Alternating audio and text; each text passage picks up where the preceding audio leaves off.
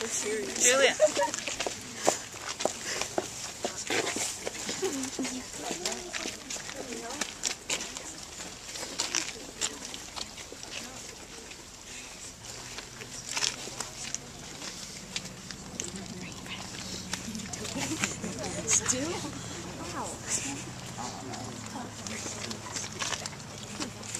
No, the two areas. Not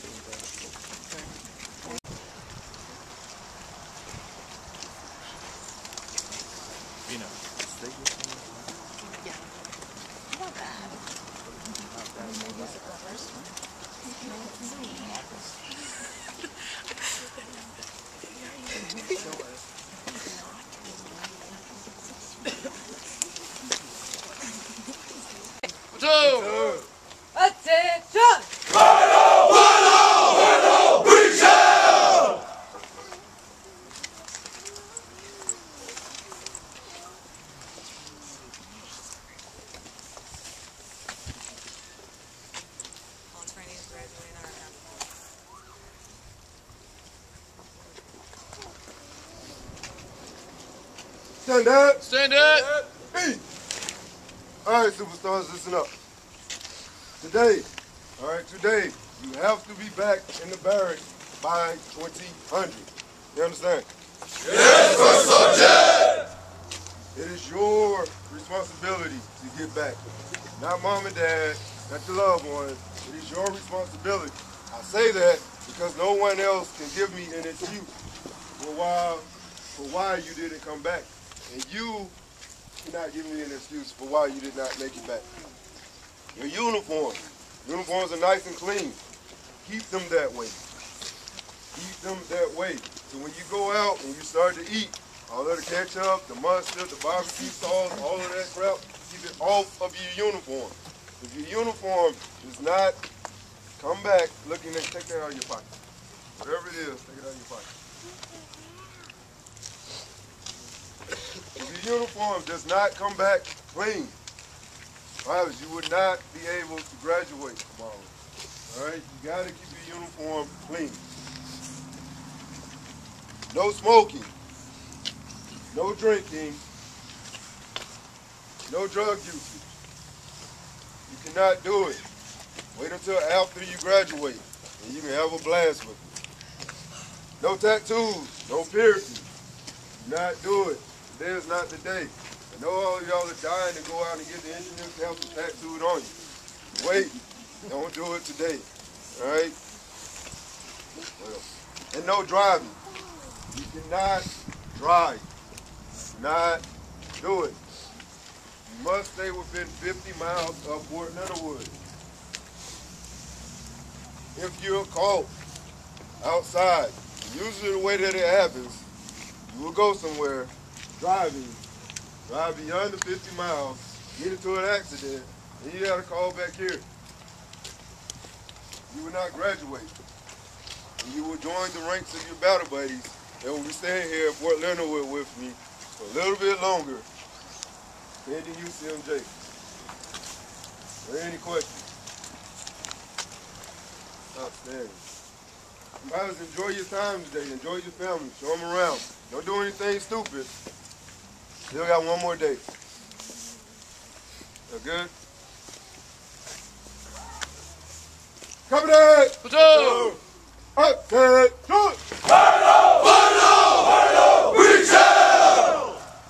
Hold up. Your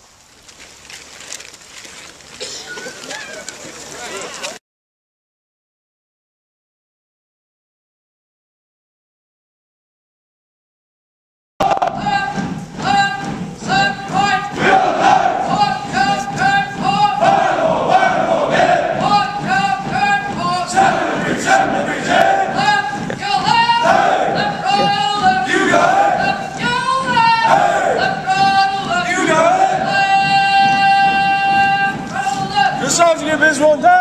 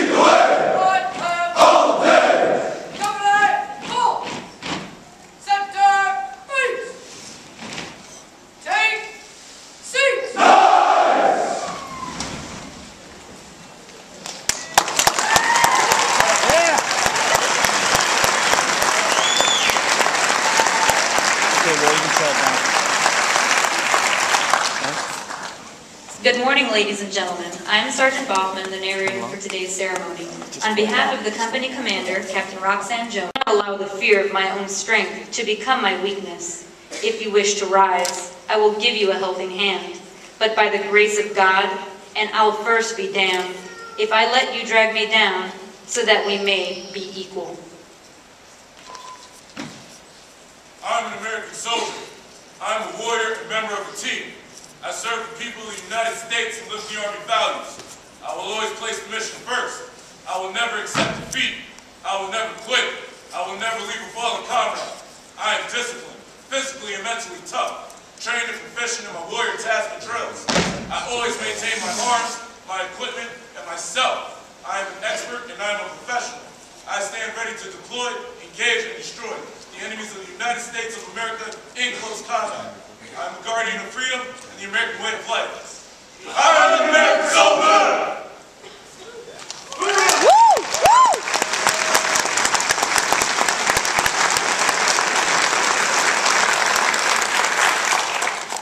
Reciting the Soldier's Creed was Private Shane Riley from New York, representing the modern-day soldier.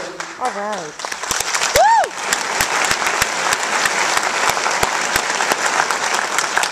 representing the soldiers from Desert Storm, is Private Liam Spina from Virginia.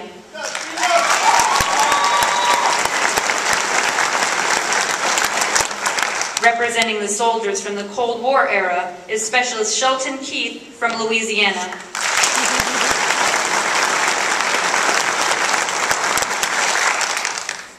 Representing the soldiers from the Vietnam era is Private Jonathan Corey from Ohio.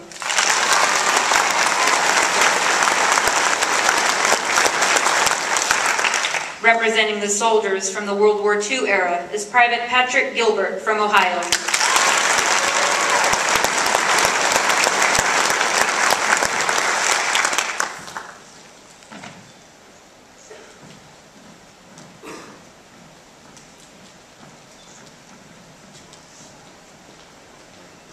For each of the soldiers graduating today, there are Specialist Hawthorne, Florida. Private McCool, Virginia. Private Mellon, Michigan. Private Milton, Florida.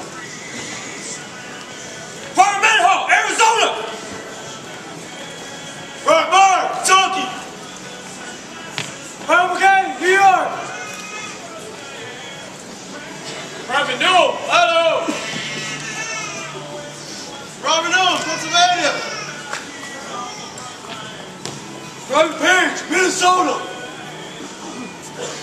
Ron Paul Gunner, California. Ron Palmer, Colorado. Ron Pierce, California. Specialist Pereira, Brazil. Robert Brett.